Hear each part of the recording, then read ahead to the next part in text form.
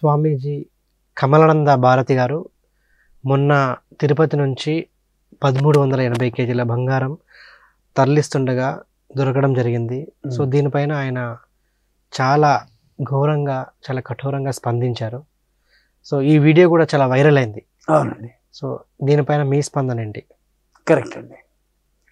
దీన్ని పూర్వాపరాలు ఆలోచిస్తే రమణ దీక్షితులు ఆలయ ప్రధాన అర్చకులు ఆయన ఒకప్పుడు ఏం చెప్పారు అని అంటే ఆలయం తాలూకు హుండీల్లో బంగారం కానీ డబ్బు కానీ కానుకలు కానీ ఏమీ వేయకండి. కేవలం దేవుణ్ణి వచ్చి భక్తితో దర్శించుకోండి వెళ్ళండి. అంతేకాని స్వామివారికి హుండీలో ఏదైనా వేయాలి అనేటువంటి ఆలోచన చేయకండి ఇది మంచిది కాదు అని చెప్పి చెప్పడం జరిగింది. ఆయన ఏంటి? అది నర్మగర్భంగా చెప్పారు. ఆయన నర్మగర్భంలో చెప్పడంలో ఉద్దేశం ఏంటంటే ఇలాంటివి చిన్న చితక కావచ్చు పెద్ద కావచ్చు ఏదైనా కావచ్చు. అనేక అనేక రకాల స్థితిగతుల్లో ఎవరైతే హుండీలో డబ్బులు వేస్తున్నారో ఆ డబ్బులు అన్నది సద్వినియోగం కావట్లేదు అన్నది ఆయన నర్మగర్భంగా చెప్పారు. దాన్ని ఈయన ధృవీకరించినట్లు అయింది అంటే ఈయన ఏదో వ్యక్తిగత స్వార్థంతో చెప్పడం కాదు. ఇది జరిగింది. ఆ, ఆయన ఎప్పుడైతే యూట్యూబ్లోనో లేకపోతే వాట్సాప్లోనో మాట్లాడినటువంటి ఆ సందర్భంలో అందుకు అందుకు ఒక మూడు రోజుల నాడు. తిరుపతి నుంచి చెన్నైకి పదమూడు వందల ఎనభై ఒక్క కిలోల బంగారం తరలించబడింది. అది ఆ రోజు అక్కడ ఎలక్షన్ కోడ్ ఉండడం మూలంగా ప్రతి ఒక్క వెహికల్ని కూడా పరిశోధిస్తూ వచ్చారు పోలీసులు. ఆ వ్యాన్ కూడా ఎలాంటిదంటే మార్చురీ వ్యాన్ ఉంది కదా. మార్చురీ వ్యాన్ కంటే కూడా ఇంకా భయంకరమైనది పరమ డొక్కు వ్యాన్. అని ఆయన మాటల ద్వారా తెలుస్తోంది. అలాంటి వ్యాన్లో కనుక తరలిస్తే ఎవరికి ఏ విషయమో అర్థం కాదు కదా అని ఒక మంచి ఫ్రీ ప్లాన్డ్గానే ఇది ఇంత చేస్తూ వచ్చారు. కానీ ఈ వెంకటేశ్వరుడు అంత ఈ సామాన్యుడు కాదు. తప్పు చేసే వాళ్ళని శిక్షించకుండా ఉండడు. కాకపోతే ఎంత తప్పు చేసినా కానీ దానికంటే ఒక సమయం అనేది వస్తుంది కదా. ఆ సమయం వచ్చినప్పుడు ఆయన వేసేటువంటి శిక్ష ఎంత భయంకరంగా ఉంటుందంటే ఈ పోలీసులు ఎలక్షన్ కోడ్ సందర్భంగా ఆ వ్యాన్ను తనిఖీ చేయడం జరిగింది. తనిఖీ చేయగా పదమూడు వందల ఎనభై ఒక్క కిలోల బంగారం ఉంది అన్నది తేలింది. ఈ పదమూడు వందల ఎనభై ఒక్క కిలోల బంగారం ఎక్కడి నుంచి వస్తోంది ఏమిటి అని చెప్పి ఆ డ్రైవర్ని కానీ ఇతర చిన్న చిత్తగా సిబ్బందిని కానీ తరచి తరచి ప విచారిస్తే అప్పుడు తిరుమల తిరుపతి దేవస్థానం తాలూకు ఈవో ఈ బంగారం అంతా కూడా తిరుపతి దేవస్థానానికి చెందిందే తిరుమల తిరుపతి దేవస్థానానికి చెందిందే అని చెప్పి ఒక తగిన రుజుపత్రాలు అటు దర్యాప్తు చేసేటువంటి పోలీసులకు దాఖలు చేయడం జరిగింది. ఇక్కడ మనం ఆలోచిస్తే అసలు అంత బంగారం తిరుపతి నుంచి చెన్నైకి ఎందుకు వచ్చింది. చెన్నై నుంచి ఎక్కడికి వెళ్ళబోతుంది లేదా చెన్నైలోనే విక్రయించబడుతోందా? అసలు అంత దూరం ఎందుకు జరిగింది? దీనికి కారణం ఏంటి? దీనికి మూలం ఏమిటి అనేది ప్రతి ఒక్క అంశాన్ని కూడా పరిగణలోకి తీసుకోవాల్సి ఉంది. అలాంటి ఈ స్థితిలో చెప్పాలి అని అంటే దీనిలో ఒక్కళ్ళు కాదండి ఇందులో అనేక మంది ఇన్వాల్వ్ అయి ఉన్నారన్నది అర్థమవుతుంది. ఇది ఇన్వాల్వ్మెంట్ అన్నది తెలిసి కావచ్చు తెలియక కావచ్చు. డైరెక్ట్ వే కావచ్చు ఇండైరెక్ట్ వే కావచ్చు. ఎలాగైనా కానీ ఇన్వా ఇన్వాల్వ్మెంట్ ఈజ్ ఇన్వాల్వ్మెంట్. ఇది ఎవరైనా కానీ ఒప్పుకోక తప్పదు. నేను ఇది ఏ ఒక్క వ్యక్తి మీద ఒక వ్యక్తిగతమైనటువంటి ద్వేషంతో కానీ ఆగ్రహంతో కానీ నేను మాట్లాడేది కాదు. స్వామీజీ చెప్పినటువంటి మాటల ప్రకారంగా చూసుకుంటే ఇంతటి గొప్ప దుర్మార్గం అనేది జరిగింది. భగవంతుడి తాలూకు సంపద సంపదకే ఒక ఖచ్చితమైనటువంటి భద్రత లేకపోతే ఒక మామూలు మనిషి తాలూకు జీవితం ఎంత ఘోరంగా ఉంటుంది అన్నది నా తాలూకు ఆలోచన విధానం. దీని గురించి నేను మాట్లాడుతున్నాను కానీ వేరే విధంగా అని కాదు. ఇక్కడ ఎంతమంది దీనిలో ఇన్వాల్వ్ అవుతారు? అనేది చెప్తే ఇప్పుడు ఎలక్షన్ కోడ్ సందర్భంగా మన ఏపీలో ఎలక్షన్స్ అయిపోయినాయి. ఎలక్షన్స్ అయిపోయిన వెంటనే ఏం జరుగుతుంది? క్యాబినెట్ మినిస్ట్రీ సహా మొత్తం అంతా కూడా డిజాల్వ్ అవుతుంది అసెంబ్లీ. అలా డిజాల్వ్ కాగా ఆపద్ధర్మ ముఖ్యమంత్రి అని చెప్పి చంద్రబాబు నాయుడు అన్ని శాఖలను కూడా ఆయనే నిర్వహించేటువంటి పరిస్థితి ఉంది. అంటే ఏంటి? ఇంకొక రాబోయే టర్మ్ తాలూకు ముఖ్యమంత్రి పదవి ప్రమాణ స్వీకారం చేసేంత వరకు ఈయననే అన్నిటికీ కూడా బాధ్యత వహిస్తూ ఆయా శాఖలను నిర్వహించడం అనేది జరుగుతుంది. అలాంటి పరిస్థితుల్లో ఈయన హయాంలో ఈయన హిందువుగా ఉండి ఈయన హయాంలో ఇలాంటి సంఘటన జరగడం అనేది దురదృష్టకరం. దీనికి నాకు కూడా చాలా విచారకరమైనటువంటి స్థితిగానే ఉంది. నేను కూడా చాలా బాధపడుతున్నాను.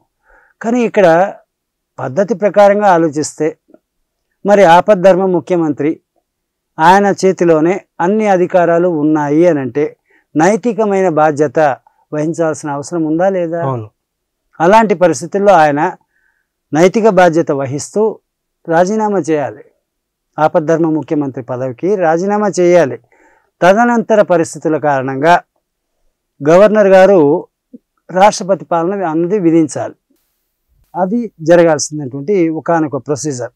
సరే ఆ సంగతి అలా పక్కకు పెట్టగా ఇక్కడ జేఈఓ అనుకుందాం. లేదంటే ఈఓ అని అనుకుందాం.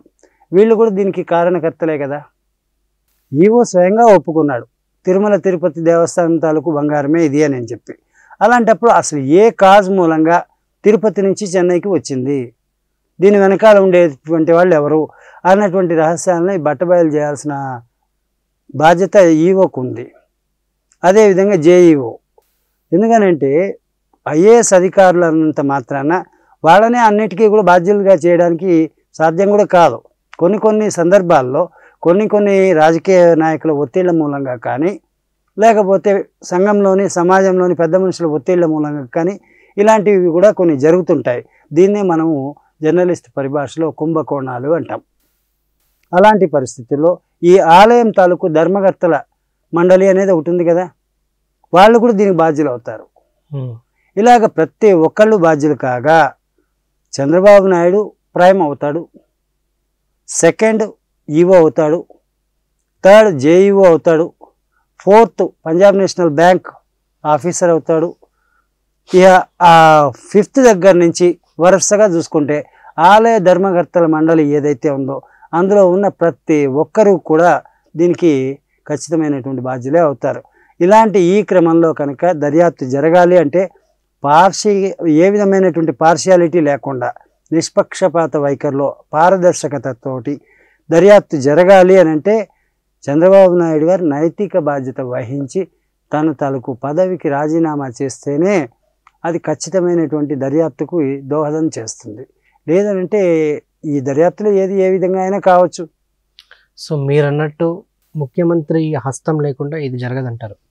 ముఖ్యమంత్రి హస్తమే కాదండి ఆలయ ధర్మకర్తల తాలూకు హస్తాలు కూడా లేకుండా జరగదు. జరగదు. ఖచ్చితంగా వీళ్ళది అంతో ఎంతో ప్రమేయం ఉంటుంది. ప్రమేయం లేకుండా జరగడం అనేది సాధ్యం కాదు. ఇప్పుడు నాకు తెలియగడుగుతాను ఒక ఐఏఎస్ ఆఫీసర్ ఉన్నాడు అంటే వాడి విధులు ఎంత వక్ర మార్గంలో చేసినా ఎంత అవినీతికి పాల్పడాలని అనుకున్నా ఇదేమి చిన్న చితక వస్తువు కాదు కదండి. పదమూడు వందల ఎనభై ఒక్క కిలోల బంగారం అని అంటే అదేం జేబులో పెట్టుకుపోయేది కాదు కదా. అంత పెద్ద దుస్సాహసం ఎవరు చేస్తారు? ఒకళ్ళ తలకు ప్రమేయము సపోర్టో మద్దతో లేకపోతే ఎవరు చేయగలుగుతారు? అంతటి దుస్సాహసానికి ఎవరు ఊడిగెడతారు అది దైవ సన్నిధానం నుంచి. అది దైవ సన్నిధానం నుంచి. దీనిపైన మరి ప్రభుత్వం ఎలాంటి చర్యలు తీసుకోవాలి? అంటే ఇప్పుడు. రాష్ట్రంలో జరుగుతుందంటే ఇది కేంద్ర ప్రభుత్వం చర్య తీసుకోవాలి. ఒక రకంగా. కేంద్ర ప్రభుత్వం చర్య తీసుకోవడం అన్న తర్వాత సంగతి అండి. ఫస్ట్ చంద్రబాబు నాయుడు గారు నైతిక బాధ్యత వహించి రాజీనామా చేయాలి.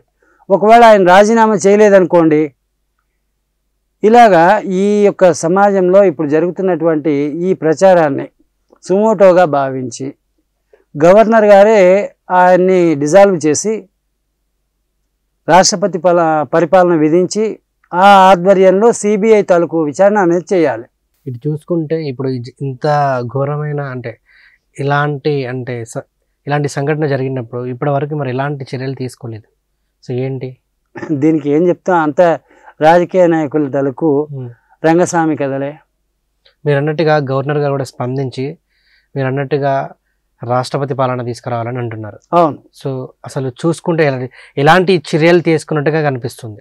ఏమీ తీసుకున్నట్టే కనబడట్లే. అవును. అంతకు మించి చెప్పాలంటే చిన్న విషయానికి కూడా దుమ్మెత్తి పోసేటువంటి ఛానల్స్ ఏం చేస్తున్నాయండి? ఏ ఛానల్లో అయినా కానీ దీనికి సంబంధించిన వార్త వచ్చిందా? అంటే ఏంటి? వార్త రాలేదు కాబట్టి అది అబద్ధమని తోసిపించేదానికి అవకాశం ఉందా? లేదు.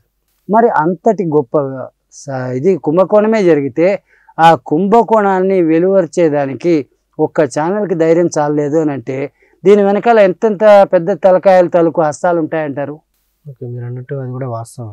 ఛానల్ ఏం చేస్తుందండి చిన్న విషయానికి ఏమీ లేదు. రోడ్డు మీద ఎవరో పోతుంటే ఎవరో వచ్చారు. ఒక అమ్మాయిని ఒకడు బయట లాగాడు అని అంటే దాని గురించి చర్చా వేదికలు పెడుతున్నారు కదా? ఆ చర్చా వేదికలు అంతంత చిన్న చిన్న విషయాలకే పెట్టేటప్పుడు ఇంత పెద్ద విషయానికి అసలు చర్చా వేదిక కాదు. కనీసం ఒక్క లైన్ అయినా కానీ వార్తల్లో ఎందుకు ఉదాహరించట్లేదు? దీని మీద చర్చా వేదికలు ఎందుకు పెట్టరు? పెడితే లైసెన్సులు బా రద్దు అవుతాయని భయమా? ఏది ఏమైనప్పటికీ సమాజం అంతా ఏటి వరదకు కొట్టుకుపోయినట్టు కొట్టుకుపోతోంది తప్ప ఖచ్చితంగా సమాజం ఉండే రీతిలో సమాజం లేదు. వ్యవస్థలు ఉండాల్సిన స్థితిలో వ్యవస్థలు కూడా లేవు. వ్యవస్థ అనంటే జర్నలిజం ఫోర్త్ ఎస్టేట్ కదా? అవును. తాను చేయాల్సిన బాధ్యత తాను చేయాలి కదా? ఉదాహరణకు చెప్పాలంటే నా గురించే నేను మాట్లాడతానండి. ఒక అఘోర అనేటువంటి వాడు శవాల్ని పీక్కు తింటాడు శ్మశానంలో పడుకుని దొలుతుంటాడు ఇలాగా అలాగా అలాగా ఇలాగా అని చెప్పి అవాకులు చవాకులు ఇది చేసి దీని మీద చర్చా వేదికలు కూడా పెట్టేదానికి సిద్ధంగా ఉన్నటువంటి ఈ జర్నలిజం వ్యవస్థ. ఇంతటి ఘోరమైనటువంటి తప్పిదం జరిగినప్పుడు హిందువులకు ఇంతటి దోషపూరితమైనటువంటి ద్రోహం జరిగినప్పుడు ఎందుకని స్పందించట్లేదు? సో ఫైనల్గా దీని గురించి మీరేం చెప్పాలనుకున్నారు చెప్పండి. నేను చాలా క్లియర్గా చెప్తానండి. నేను చెప్పాలి అనుకున్నది నేను చెప్పాను. ఇదంతా కూడా నా అభిప్రాయం. నా అభిప్రాయం ప్రక- ప్రకారంగా నేను చెప్పాను.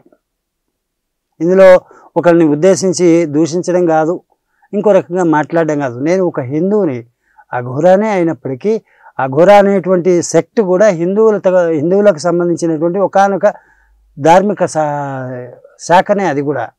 అలాంటి స్థితిలో ఆ శాఖకు చెందినటువంటి వ్యక్తిగా ఇప్పుడు జరిగినటువంటి ధర్మద్రోహానికి నేను కూడా చాలా విచారిస్తున్నాను. సో అంటే మీరు చెప్పిన దాన్ని బట్టి చూస్తే అంత పెద్ద తిరుపతిలో కొన్ని రాష్ట్రాల నుంచి దేశాల నుంచి తరలి వస్తుంటారు భక్తులు సో తిరుపతిలోనే జరిగింది లేని మిగతా ప్రదేశాల్లో మిగతా గుళ్ళ జరగడం ఎందుకు జరగవండి. ఎందుకు జరగవు? ఈ మధ్య కాలంలో విజయవాడ కనకదుర్గ గుడిలో కూడా ముక్కెర కనబడలేదని చెప్పి ప్రచారంలోకి వచ్చింది ఒక వార్త. దాని గురించి కూడా ఎవరు స్పందించినటువంటి దాఖలాలు లేవు. దేవుడు దేవత అని అంటే వీళ్ళు దిక్కుమాలిన వాళ్ళు అయిపోయినారు ఈరోజు. వీళ్ళకి ఏదైనా ఒక కష్టమో సుఖమో వస్తే అప్పుడు నెత్తికి తలపాగలు కట్టుకుంటారు ఆ తలపాగల మీద తట్టలు పెట్టుకుంటారు. దాంట్లో బట్టలు పెట్టుకుంటారు నగలు పెట్టుకుంటారు అవి కూడా తీసుకువెళ్తారు. సమర్పించినట్టుగా సమర్పిస్తారు దాన్నే మళ్ళీ ఇంటికి కూడా తీసుకెళ్తారు. ఇదండి ఈనాటి రాజకీయ నాయకుల తాలూకు స్థితిగతి. ఓకే. రాజ్యాన్ని పరిపాలించేటువంటి రాజుకే ధర్మనిరతి లేనప్పుడు ప్రజల్లో ఎందుకు ఉంటుంది ప్రజలు అట్లాగే తయారయ్యారు ఈ రాజులు అట్లాగే తయారయ్యారు ప్రభుత్వాలు అట్లాగే తయ- తయారయ్యాయి. సో మీరు అన్నట్టు ఇక్కడ గవర్నర్ గారు చర్య తీసుకొని రాష్ట్రపతి పాలన చేయాలని అది నేను. అదే భావిస్తున్నాను. అది జరిగితేనే ఖచ్చితమైనటువంటి పారదర్శకతతోటి దర్యాప్తు అన్నది కొనసాగుతుంది. లేదంటే కొన- కొనసాగదు. ఎన్నో జరిగిన కుంభకోణాల్లో ఇది కూడా ఒకటి అన్నట్టుగా మరుగున పడిపోతుంది కానీ ఇది బయటకు వచ్చేటువంటి అవకాశం లేదు. అంతకుమించి ఆ పదమూడు వందల ఎనభై ఒక్క కిలోలు ప్రతి ఒక్కరు తలా కాస్త తిలా పాపం తలా కాస్త అన్నట్టు పంచుకుంటారేమో కానీ నిజానికి భగవంతుడికి జరిగే అన్యాయము న్యాయము ఏం లేదు. భగవంతుడికి జరిగే న్యాయము లేదు. ప్రజలకు జరి- జరిగే న్యాయము లేదు. ప్రజలంతా కూడా ఎప్పట్లానే వెర్రిగొర్రెలే. ఒకవేళ అలానే జరిగితే అలానే చర్య తీసుకోకపోతే మాత్రం అది ఒక పాపం శాపం లాగా కూడా మారిపోతుంది. ఖచ్చితంగా అండి. ఖచ్చితంగా. సో అంతటికి అంతా అనుభవిస్తారు. ఎవరైనా సరే దీనికి దీనికి ప్రతి దీనికి సంబంధించినటువంటి ప్రతి వాళ్ళు అనుభవించక తప్పదు. ఓకే. తెలిసి చేసినా తెలియక చేసినా కరెంట్లో వేలంటూ పెట్టినాక షాక్ అంటూ కొట్టకుండా ఉండదు కదా? ఇది కూడా అలాంటిదే. ఓకే.